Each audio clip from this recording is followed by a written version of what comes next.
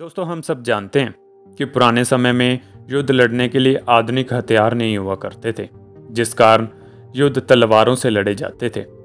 और इन युद्धों में घोड़ों का आम ही प्रयोग होता था।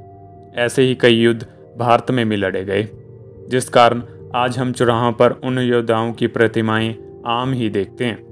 लेकिन इन प्रतिमाओं में घोड़ों की प्रतिमा कुछ अलग अलग तरह देखने को मिलती है।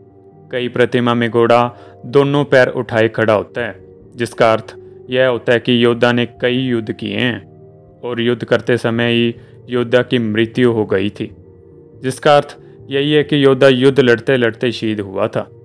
तो वहीं कई प्रतिमाओं में घोड़ा एक पैर को उठाए खड़ा होता है, जिसका अर्थ यह होता है कि युद्ध करते समय वीर काफ़ी जख्मी हुआ था, लेकिन मृत्यु इलाज के समय युद्ध के कारण लगी चोटों के कारण हो गई थी।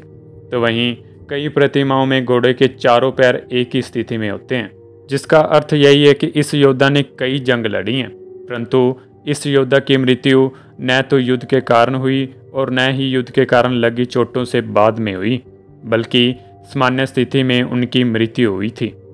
आशा है दोस्तों, आपको यह जानकारी अच्छी लगी होगी।